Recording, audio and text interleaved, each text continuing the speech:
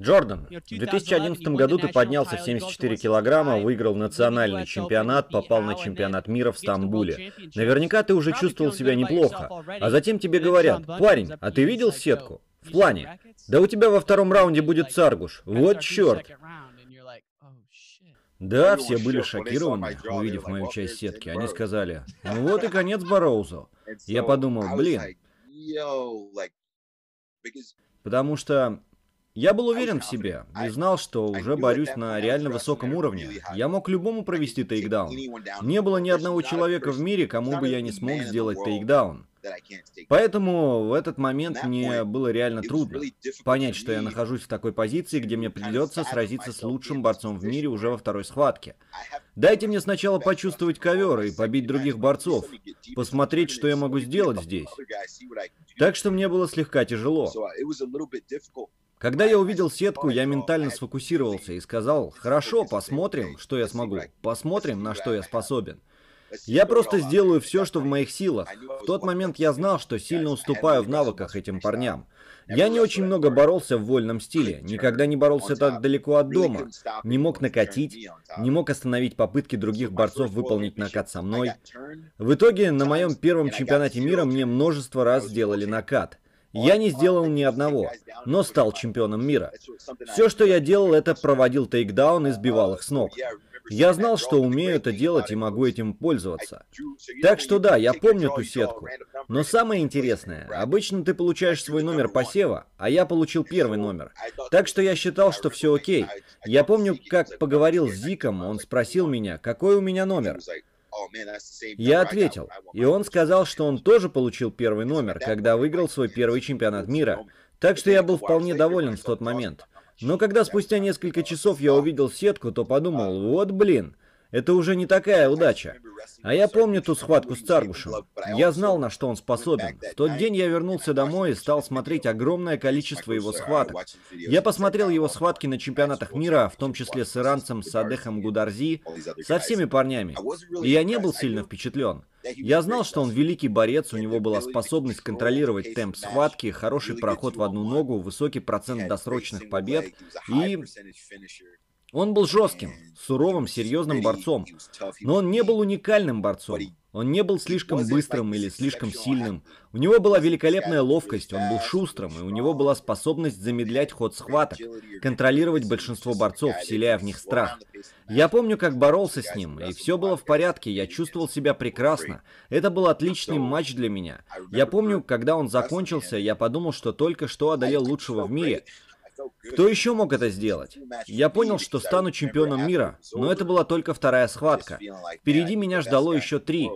И я помню, что когда победил Царгуша, пошел в раздевалку, у меня с собой был телефон, и я получил сообщение от своей девушки, которая написала «Поздравляю, ты сделал это! Ты чемпион мира, как круто!» А я ответил «Да нет же, я победил только что чемпиона мира, но впереди еще три схватки». А она посчитала, что раз я победил чемпиона мира, значит я уже чемпион. Я помню, что был физически истощен. Слишком много эмоций ушло на осознание победы над Царгушем. Руки и ноги были забиты. Мне сделали массаж, растерли ноги и руки, чтобы подготовить меня к следующей схватке. И, к счастью, дальше у меня был в соперниках парень из Венесуэлы. И он был хорош, но... В целом это был очень крутой турнир. И выиграв его, я понял, что если они не смогли победить меня сейчас, на моей первой попытке, то я реально буду очень опасен в будущем. И это было не чистое бахвальство. Я знал, что буду становиться только лучше. И в тот момент находился только в начале своего пути. Понимаешь, за полтора года до этого я шатался по кампусу с травмой колена. Так что для меня это просто был метеоритный подъем. Это было невероятно. Все это было до гламура, до подписчиков, спонсоров, всех этих дел. Все было так прозрачно. Это было чистое время, и оно стало для меня по-настоящему особенным. Безусловно, незабываемая встреча с Царгушем единственная, которая запомнилась того чемпионата. В той схватке он все время забирал твою ногу, боролся грязно, люди болели против него, когда ты с ним встречался. Не мог бы ты сравнить его борьбу с борьбой другого россиянина, Седакова? Ты боролся с ним в разное время, но давай сравним их. Ты знаешь, самое забавное, что моя жена как-то сказала, что я сейчас нахожусь в шкуре Царгуша, которому предстояло встретиться с молодым перспективным борцом, и что Седаков Это я. Седаков это Бароу с 2011 года для тебя. Борец, который только появился, провел очень близкую схватку. Это борьба кость в кость.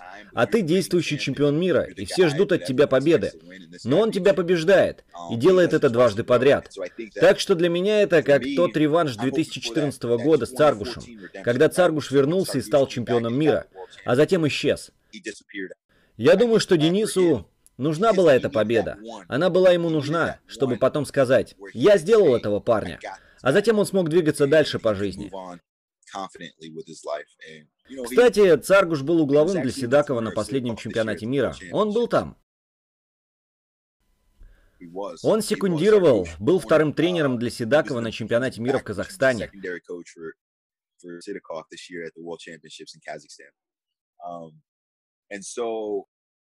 Ты знаешь, у Седакова очень интересный стиль. Я бы не сказал, что он великий борец. Но то, что он делает, он постоянно в борьбе во время схватки до последней секунды. Седаков знает, в чем его сила. И он великолепно проделывает свою работу, закрывая пробелы. И это то, что заставляет меня чувствовать дискомфорт, когда борец закрывает свои проблемные зоны, активно работая.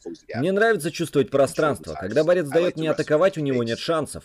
Так что я думаю, Седаков проделывает отличную работу.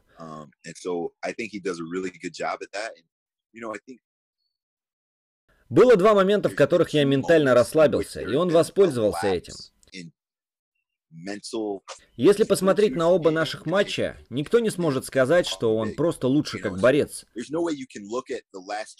Для меня самой сложной частью схватки с ним будет концентрация и борьба на протяжении всего времени. И это, наконец, должно привести меня к тому, что я смогу победить его, и победить его умело. Ты знаешь, я глубоко уважаю Седакова, я ценю его и отношусь с уважением. Чудовищная ненависть у меня была к Царгушу. Я ненавидел Царгуша, и, возможно, мне стоит ненавидеть Седакова. Возможно, это поможет мне отнестись иначе к противостоянию с ним. Но борец из России всегда будет самым трудным соперником. Куда бы я ни отправился, конечно, Чамиса тоже по-своему уникален, но Россия неоспорима. Россия неоспорима. Я боролся с парнями из России практически на каждом чемпионате, кроме 2013 года. То есть всего однажды я не боролся с русским.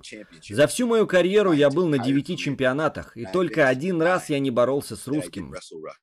В 2011 был Царгуш, в 2012 Царгуш, в 2013 был Хубеште, его победил индиец в первом круге, а во втором круге я победил индийца, и Хубеште вылетел.